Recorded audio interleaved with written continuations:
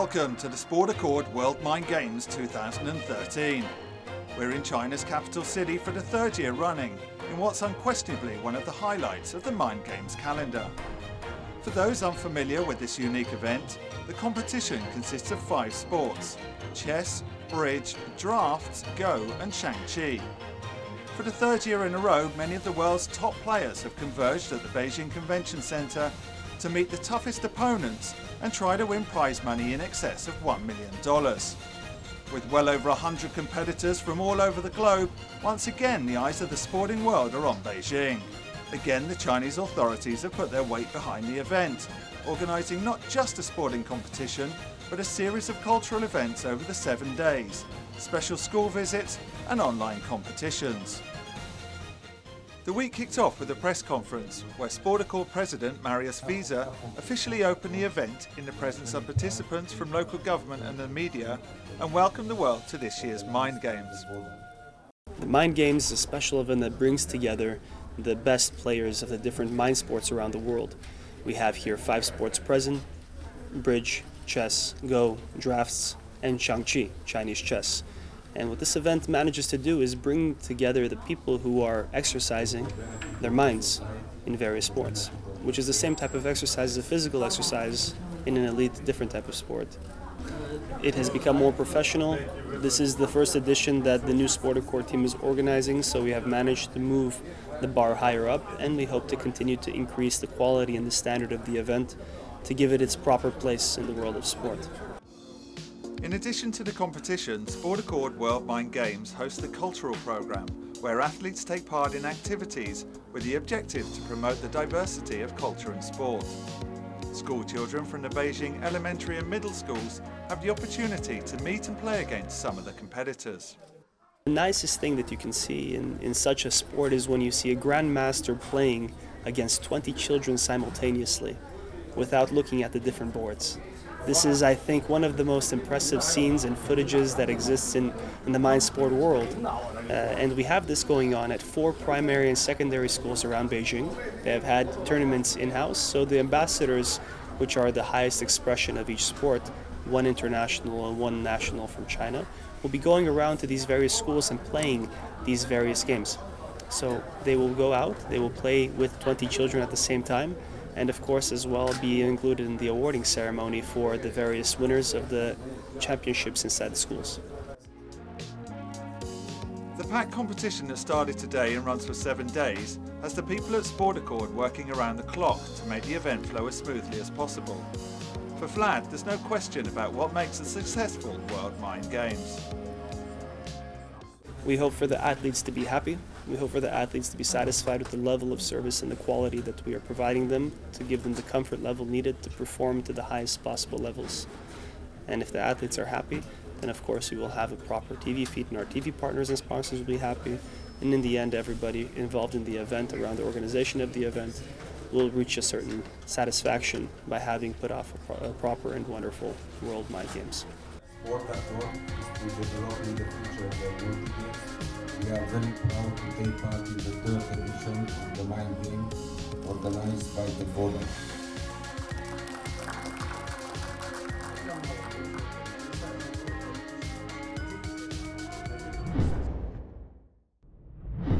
Each individual sport has nominated ambassadors, normally a player or official, whose role it is to increase recognition of their sport and promote it internationally. In contrast to previous years, 2013's edition has a Chinese as well as an international ambassador. One of the highest profile names this year is Daria Tkachenko from Ukraine. The four-time world champion is the international ambassador here in Beijing for drafts, and she'll start as one of the favourites. For her, this event is a pivotal part of the calendar. For me, uh, World Mind Games, I think it's a very um, good event which unites uh, different uh, mind sports. And I think that for all participants, it's a good opportunity to meet different people from different countries and different sports. Also, we have a very strong draught tournament here, and normally it's not easy to be qualified for because of a very limited uh, number of places. So uh, last year I was not here, for example. This year I have chance to participate and I'm very glad. Zhou Hanqing from China, the current youth world champion, is competing here for the first time. She's convinced that the Sport Accord World Mind Games is key to spreading the popularity of her sport in her own country, as well as elsewhere. The Chinese government is doing its best to promote the sport here in China, and now there are hundreds of thousands, even millions of people who are playing draughts here in China, which I think is a good thing. Now let's take a look at some of the action from the first day here from the rapid rounds. Here we see a real clash of the titans between current world champion from Russia, Alexander Georgiev, and 20-year-old Dutchman, Roel Boomstra.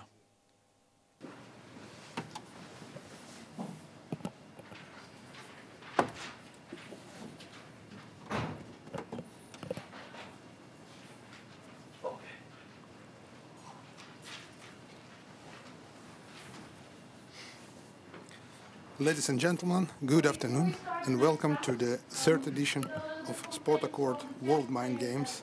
Yeah, there is not. I think there is not so much difference between the Blitz and Rapid games and the normal games because all world top players will finish, I think, here also in the top of the tournament. Well, but uh, sure, sure, but uh, there are too many players who we can uh, call top players. Who, who, who, do you mean? I'm interested as top players.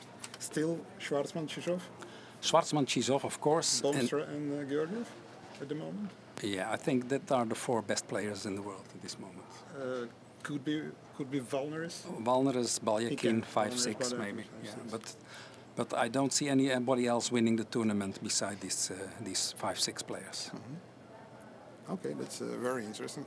We, I'll write it down, and we will check it in uh, one of our uh, broadcasting later. But uh, at the moment, at the moment, Georgiev is still thinking if he will go to 23 or not. Maybe it's a little bit early, but but he can go to 23 uh, also with exchanging both pieces. 33. Yes, yes. So maybe he's thinking not go or not to go to 23, but how to go to 23. I don't know. He must do something because. What, what could he do? But you can expect uh, from your. It's clear. Uh, it's clear. I don't like to play against Boomstra. Also, yeah. he's very strong. because uh, uh, Georgiev is not typical uh, an aggressive player. He doesn't like to put piece on 23 and then wait to see what active plan Swart uh, Black will develop. Mm -hmm. He is more keeping the game in his own hands than wait and see. Is 31-26 also alternative? It's a, it's a very good possibility, but to, to, to try. Uh, I, will, I will show it with my mouse. 3126, this move. And it's a bit, it's waiting, a bit waiting wait, move. Waiting, and if black will play 1721, yeah, that's, then then it's already uh, that's not a good big, move. bigger, bigger yeah. central position for white. So it can be also uh, indeed an alternative. But uh, danger in uh, those short games that the time uh, flying very quickly. If you if you are thinking uh, with the temp with the if you use the time you are used to use a normal game, then you are running very quickly out of out of your time. You you, you look one more to to the clock and you say, oh my god. I should play quicker.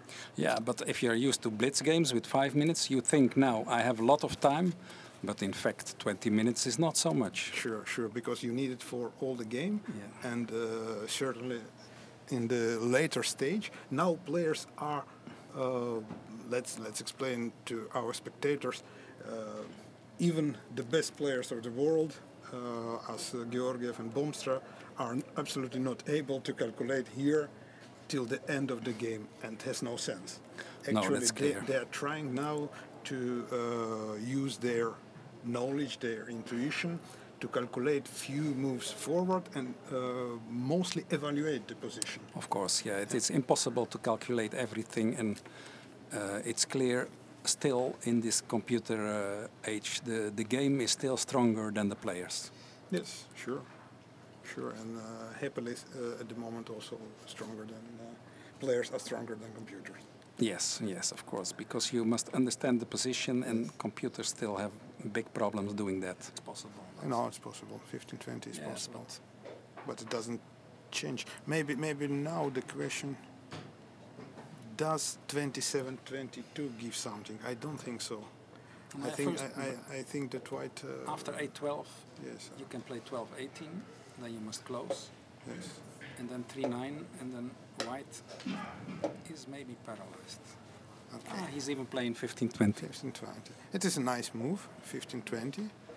Now uh, white has the possibility to take a small combination, but of course Georgiev uh, saw that it's not possible for the weaker player. It, it, it would uh, require at least some time to think over, but uh, it was clear that Georgiev was prepared to 15-20 because he played immediately. Now he has three and a half minutes, Roel five and a half minutes. And the position is, is uh, it looks equal. E the position looks equal, but still it is very slight advantage. On the for, face for, of Roel, you see he's not interested, hardly interested oh, anymore. Oh, so so uh, it is some kind of uh, language when he says, uh, "Okay, what we are doing here, we should." Yes. We should oh, they stopped. okay. Hello and welcome to the third annual Sport Accord World Mind Games. I'm Chris Garlock of the American Go e-Journal, and I'm here with Michael Redmond Nindan. Hello. In Beijing, China, where we're once again bringing you commentary on exciting games at this major event, which features top players in Go, chess, bridge, Chinese chess, and draughts. Today's commentary highlight is uh, our day one board one game between Ruiyang Zhou from China and Danny Ko of the U.S. Uh, the full commentary will be available uh, Ranka Online and usgo.org. I'll let Michael take it away with the game commentary. And again, it's interesting to see that Black didn't choose to play on the right side. What used to be, which used to be the theory that you could play on the right side, and have a, a very nice moyo here. Sure. But of course, White also gets a moyo. And people, we're seeing people doing this less and less for black. It's considered uh, too many stones maybe on the right side. On one yeah. side. Yeah, yeah well, not, not say over People used to say that this was a perfect position on the for black because it was a big moyo and hard for white to jump in and stuff like that. But uh, the way people view it has changed, and I, I'm seeing more people switching to the lower side like this. I, uh, for me, I this feels better balanced. Yes, yes. Um, both are probably, um, well, I would say playable or even fights. Um, again, at this point, I would I would have expected this move. It's yeah. the more natural way to play. Uh, just to give the most simple joseki we have in this variation, it would be like this, and then white would play something like this. Sure. An even result. Just to add moves that I might play, um, something like this maybe. Which of course would be the best moves, yes. They're nine dan moves. Yeah. um, Instead, black played here. Um, Interesting choice, right? Well, playing this is it's quite similar to something that Kobayashi Koichi used to do. It's uh-huh. very it's strong in territory, um, and also it's a potential attacking style mm. because it is taking away white's eye space mm-hmm. at the same time. Um, at this point, if white plays the upper side connection, black can either take this one stone now or play here um, if black plays here immediately, then black sort of hoping for an invasion later on, actually. Mm. Um, something like this, for instance, would mm-hmm. be interesting. Or, or black can go for the territory and take this. This is the old Joseki, in which case there's going to be a ko here eventually, but not not very soon because it's an indirect ko. Right. Neither player would be playing it immediately. Um, so this is one of this would be more territorially strong for black, uh, less territory for white. So we see in the game white took a more territorial move. Again, with black, I would be considering a uh, pincer I, here. I really, we, we looked at that earlier, um, and I really like that move. Basically, because black does have some strength in the upper right sure. corner, and would like to get a wide side with that in backing it up, basically. And it also just feels more flexible, yeah. Yeah, well, if we assume something like this, then black would get here. Right and of course a lot of fighting could could occur here. Um, but again, we can. It's going to be difficult for white to be too aggressive here, because black does is, for the time being, black is attacking. And so this is the kind of move I would uh, have trouble maybe choosing between the two of these. Right. They're both potentially good. Instead, he plays more directly for a moyo on the lower side, which is also a, a, something I've seen Just before. Just a point of technique, uh, the push, the, you know, the cut, and then the the push.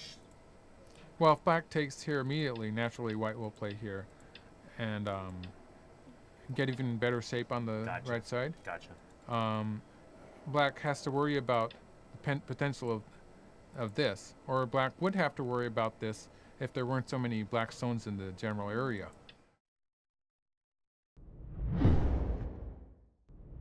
The Xiangqi tournament also kicked off today. We're going to take a look at the action between Sun Yongzheng from China and Pu Fangyao from Germany. At this moment, red cannot shift away the, the horse or either the, the, the cannon because uh, black can actually do a Yeah. elbow, elbow horse Yes, check yes. followed by C1 equal 4. That Yes. will be a checkmate. Yes. So in response, red shift away the center Yes. advisor. To give some more room for the king, but um, also with some dis- disadvantages. So what do you think black will do? I will to, to give the check and uh, he has done Wow. it. Yes. Yep. Yes, black will do a check. Yes, he's good there. And now he can play whatever he wants very slowly.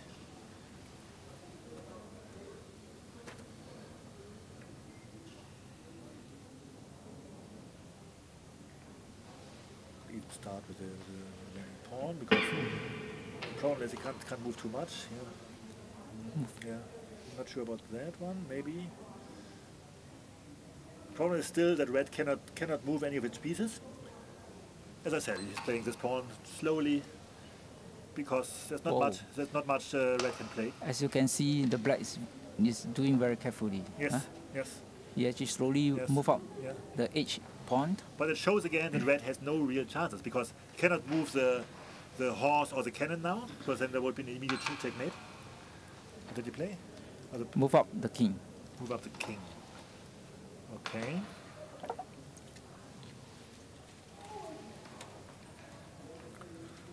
Uh, if black wants, he can now just give another check and advance the third pawn, if he wants. I think black may want to consider shifting the cannon to the second file so that the the, the first uh, first file pawn can cross the Yes, river. yeah. That's, that's possible. He could also give the check here and then, then advance the pawn. I think there are many plans now for, for black. He does he does your plan. Go to the second file. He likes the quiet moves, which are Yeah, still. correct. yeah, it's, if you are now have to defend that, you see he made a quiet move, not really threatening so much immediately, but still in, increasing the pressure, and that's very, very uncomfortable for Red, because again, no plan. He still cannot cannot move. He can move now the horse and the cannon, but doesn't look too good to do that. Now it's dangerous to move the the, yeah, the red horse away Yes. because once you red move away the horse, Yeah. black will do a cannon check, followed by advancing the fourth Yes. pawn forwards. Exactly. Okay. Let's see. Red already shifted the horse. Okay. So there are two ideas now. You could give the check from here Yep. or from here. Both has some advantages. Black may want to consider do a check Yeah. by advancing the cannon c2 plus 3, Yes. followed by p4 plus 1. Yes. Then there would still be the option of advancing. Oh, he plays something even more interesting with that. Oh, that's a good move. Yes. Red cannot take take the pawn because of. because uh, once he take the pawn, Yeah. uh, black will follow by p3 equal 4, do a check. Yes. So once you once the king move one step backward, then still don't see it.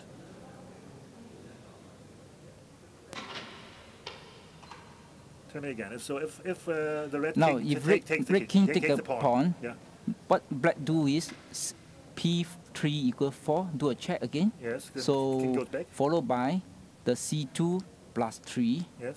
and then advance up the, the pawn. Yeah, but is that is that already the win? Let's let's look. Okay, you. Oh, that is, like red has resigned. Resigned. yeah. as I said, he will probably resign very soon. So we have a result. As expected, Sun Yongzheng from China wins against Pu Fangyao from, from Germany. It was an interesting game. A little bit disappointing that uh, very soon after the opening, Red had some quite clear disadvantage, although he was the one who played the interesting pawn sacrifice. But it turned out not to be to get any real compensation for that.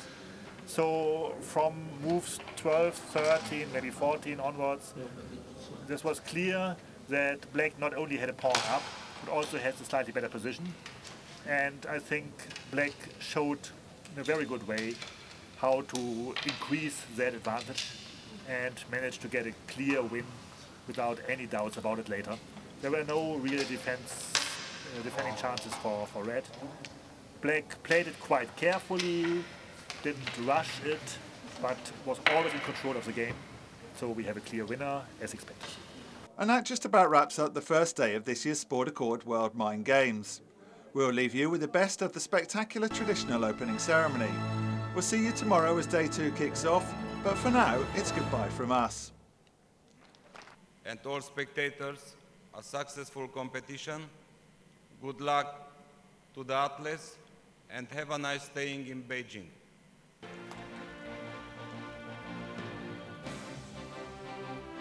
我宣布，北京2013年世界智力精英运动会开幕。